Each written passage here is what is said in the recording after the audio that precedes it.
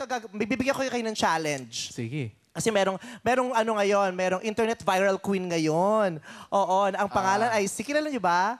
Parang alam ko yan. Si Maria Sofia Love. Yeah, si- Oo, si yung isang model. napakagandang model. Model. Nakakatuwa. Napanood niyo ba yung viral videos niya? Nakakatuwa. Ito yung video niya. You know, this is modeling for the stability of my country. Tuloy ang modeling.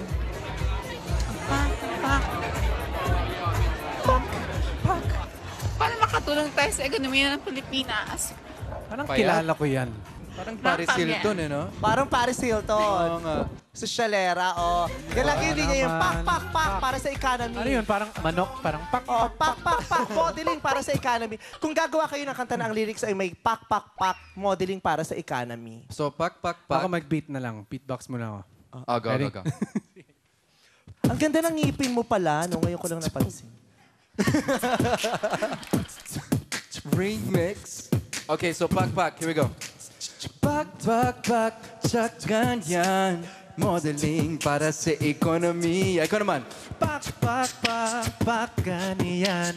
Modeling para sa ekonomiya. Pak, pak, pak, pak, ganyan. Lola, panira talaga ako eh. Sabi sa'yo, huwag niyo na isama dyan. Kayo dalawa na lang. O, palakpa kayo, Chris Lawrence and JR.